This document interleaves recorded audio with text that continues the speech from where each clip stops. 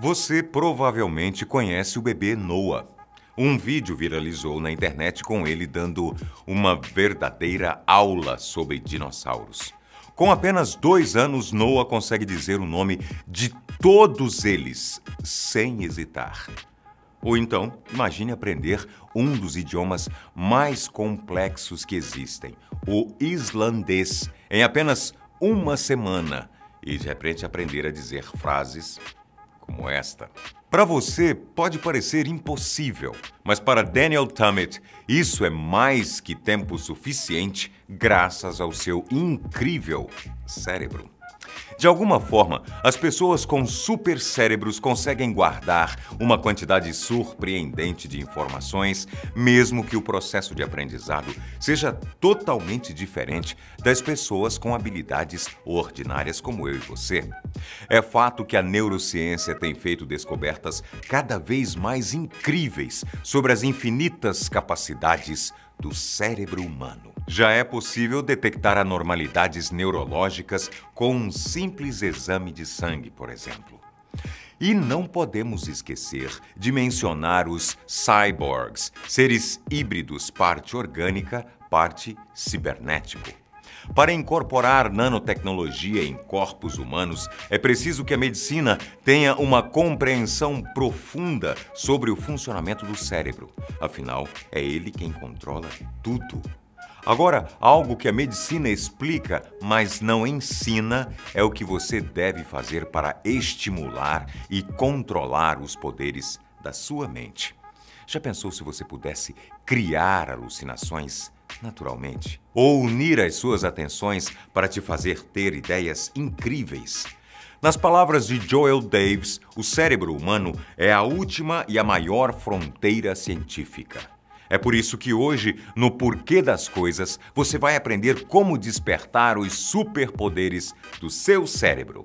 Seja bem-vindo, sou Antônio Boco.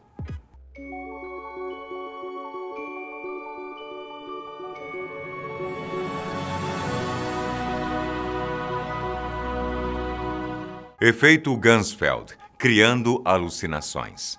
Você sempre quis mudar o modo como você vê o mundo? E se nós disséssemos que dá para fazer o seu cérebro ter alucinações sem o uso de qualquer substância ilícita? Hum? Sim, é verdade. E embora as alucinações estejam associadas a drogas como o LSD, por exemplo, tudo o que você precisa ter para criar seus próprios estímulos sensoriais é um conhecimento básico sobre o funcionamento da mente. Essa é a chave para controlar o seu cérebro. Nos últimos anos, especialistas experimentaram dezenas de truques mentais para colocar os nossos sentidos à prova, e entre eles está o efeito Gansfeld. Céticos dos quatro cantos do mundo debatem a veracidade dos resultados desse experimento porque ele é amplamente utilizado em estudos de parapsicologia sobre fenômenos que aparentemente transcendem as leis da natureza.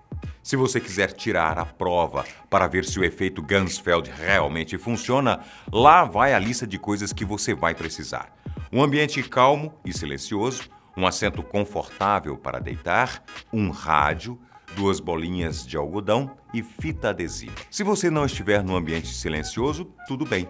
Dá para usar fone de ouvido para isolar o barulho externo, ok? A primeira coisa que você precisa fazer é colocar o rádio numa estação não sintonizada, para ficar com aquele chiado de TV fora do ar, tá certo? Se você não tiver um rádio, vale qualquer outro formato que reproduza o mesmo ruído. Depois, deite-se confortavelmente num sofá ou cama e então pegue as duas bolinhas de algodão e coloque cada uma delas sobre os olhos fechados. Peça alguém para te ajudar a prender o algodão com a fita adesiva. É importante que o algodão bloqueie a sua visão. É uma questão de minutos para que você comece a ter a sensação bizarra de estar alucinando. E as distorções sensoriais podem ser visuais ou auditivas. Algumas pessoas já disseram ter visto cavalos cavalgando entre nuvens e até que ouviram vozes de parentes falecidos.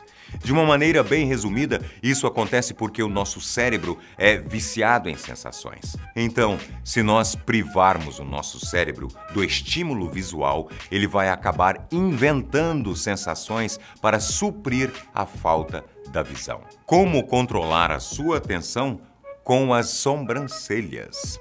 Agora você já parou para pensar para que servem as suas sobrancelhas? Essa é uma questão bastante curiosa, já que cada parte do nosso corpo tem uma função, incluindo os arcos de pelo que temos na testa. As sobrancelhas servem principalmente para proteger os nossos olhos do suor e até da chuva. Na verdade, seria bem difícil enxergar se elas não estivessem aqui. O suor tem sais que podem causar irritação e nos atrapalha até nas coisas mais simples. Agora, o que quase ninguém sabe sobre as sobrancelhas é que levantá-las desse modo pode nos deixar mais criativos isso pode ser bastante útil se você estiver no meio de um trabalho e precisar de uma inspiração para resolver algum problema. Isso só acontece porque elas são capazes de ativar as duas atenções que controlam a nossa mente. Por falar em atenção, o nosso cérebro possui dois tipos: uma delas fica quietinha na nossa mente, trabalhando o tempo todo para que consigamos resolver tudo o que aparece na nossa frente, inconscientemente. Essa é chamada de atenção inferior. Já a outra, a superior só é ativada de acordo com as nossas decisões. Por exemplo, você decidir que vai se concentrar durante um episódio da sua série favorita. Bom exemplo esse, né? Agora, o interessante sobre essa atenção inferior é que ela funciona além do nosso consciente. É algo que vem naturalmente, sem que você perceba o que está fazendo, mas só até que algo inesperado te surpreenda. Quando acontece alguma coisa que você não estava esperando, essa atenção inferior involuntária e automática toma conta da sua sinapse cerebral, causando em você uma resposta tão rápida quanto possível. Enquanto uma está processando as suas experiências físicas, outra fica tomando conta dos seus processos mentais. Mas é quando você arqueia suas sobrancelhas e essas duas atenções são ativadas que a mágica acontece. Combinadas, essas duas atenções podem te fazer ter ideias interessantes e conexões que não conseguia enxergar antes. Cura musical. A música é capaz de reduzir os níveis de cortisol no cérebro e, a princípio, isso não parece grande coisa, não é? Incrível mesmo é a conexão que o nosso cérebro faz com o nosso corpo para curar e fortalecer o nosso sistema imunológico. Isso graças à melodia nas nossas músicas favoritas que estimulam o nosso cérebro a fazer exatamente isso. Incrível, não é? Nós estamos ligados de todas as formas à composição química e à sinapse cerebral. Então, ao reduzir os níveis de estresse do organismo através da música e, consequentemente, os níveis de cortisol, a nossa produção de anticorpos é otimizada. Quanto mais anticorpos você tiver, mais resistente a doenças você será. E ao longo do tempo, a tendência é que o seu sistema se fortaleça cada vez mais.